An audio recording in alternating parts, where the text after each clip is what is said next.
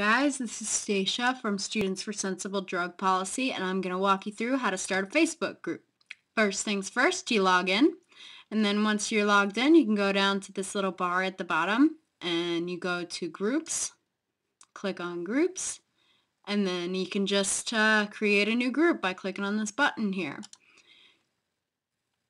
All right, and then um, group name, you could probably, you know, this is this is all up to you, but um, this is just how we're going to walk you through it. So group name, Students for Sensible Drug Policy at I don't know university. I don't know university.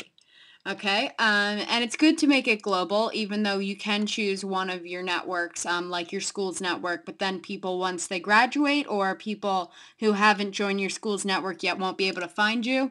Um, so I'd recommend leaving it, leaving this as global. Um, description, you go ahead and take this from the um, uh, from the SSDP's website. You can go to this page to get that, ssdp.org slash about. Or you can, you know, uh, create your own description in your own words. But uh, we certainly do have mission and value statements that you can use for that if you like.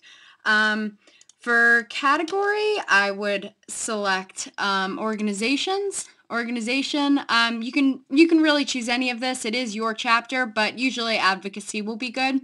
Um, recent news, of course, uh, you're starting a Facebook group, so you could put something in there like, hey, we're trying to get a chapter started at your school, blah, blah, blah. Um, office, you probably won't have an office yet, but you can feel free to put your student union or library or your usual meeting room in there. That'll Those will all be good. Um, email address. This can be your email address, but um, it also can be the chapter's email address. So if you don't have one of those accounts set up yet, it's very easy to do. You just you can just use Gmail or another email service um, and create, uh, you know, I don't know you SSDP because um, that would be, you know, I don't know university chapter of Students for Sensible Drug Policy at gmail.com. And that way, uh, and also you can set that up to forward to your personal account so you don't have to put your personal email on here and you don't really have to check that account. Um, street, probably irrelevant if you don't have an office. And then, of course, the city or town that you're in and then um, you would create that group and then uh, once you click that button it takes you to another screen um, where you can upload a picture set your settings and invite people. So definitely invite all of your friends invite and encourage them to invite their friends um, and people will find it. So that's uh, yeah have fun with Facebook. This has been Stacia from SSDP go end the war on drugs. Yeah